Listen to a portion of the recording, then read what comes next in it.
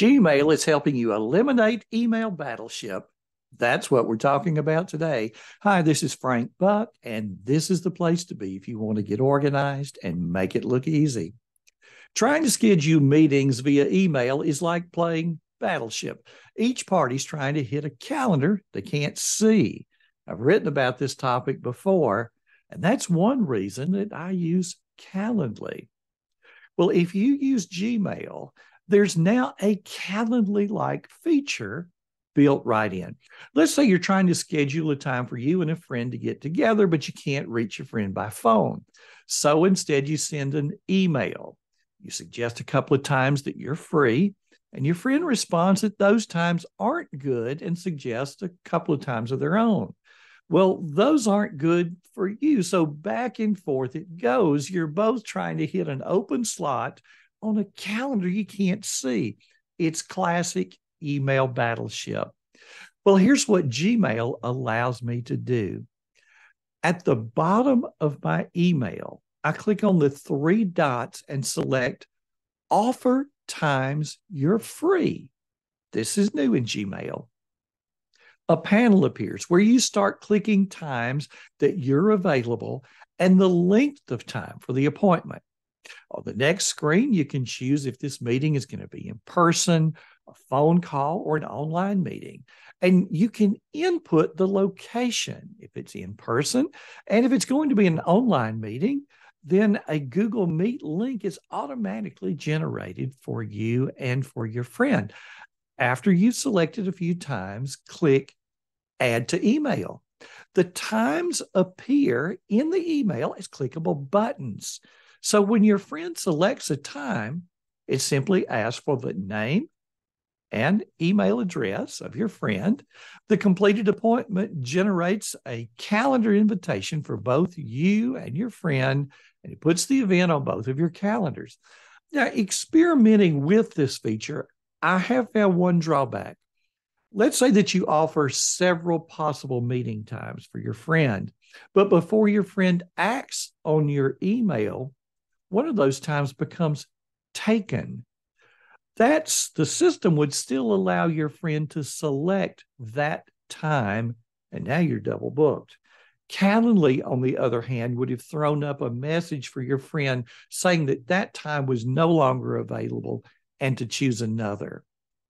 Now, there's a second Calendly like feature. You'll see this one in Google Calendar would you like to have a single link that you could give to anybody and they would always be able to see when you're available and book appointments with you without the email and you selecting times to send to them? Okay. Well, if that's something that appeals to you, in the upper left in Google Calendar, click the Create button and you'll see Appointment Schedule.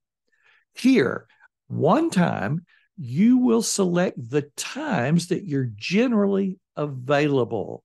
This way, you can have, say, weekends blocked off, and perhaps you aren't going to let anybody schedule a time with you, say, on Wednesday.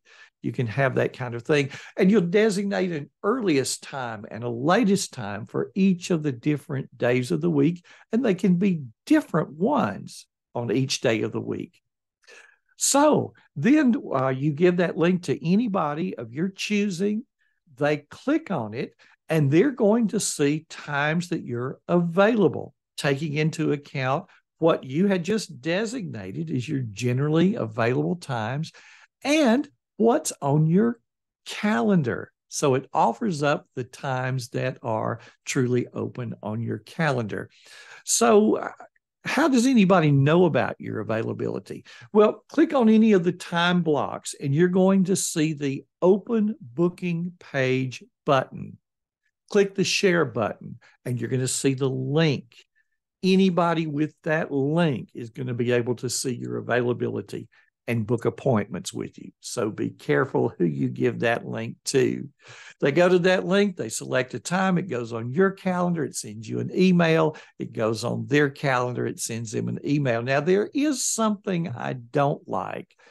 I primarily use the monthly view on Google Calendar.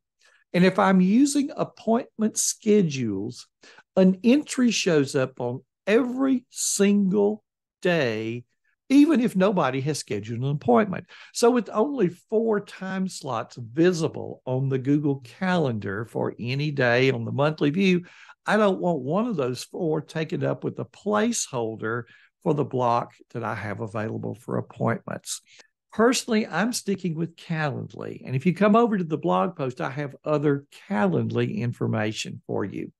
But if you want something that's already baked into Gmail and your Google Calendar, what we've covered in this content today may just be your answer.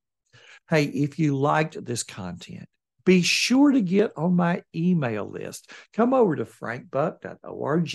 And if you're watching on YouTube, please like the video and comment and subscribe to the channel. We're very close to 2,000 subscribers. By the time that this video goes live, we may be over that 2,000 mark, and you can help us in our climb to 3,000. Thanks for stopping by today. This has been Frank Buck helping you get organized and make it look easy.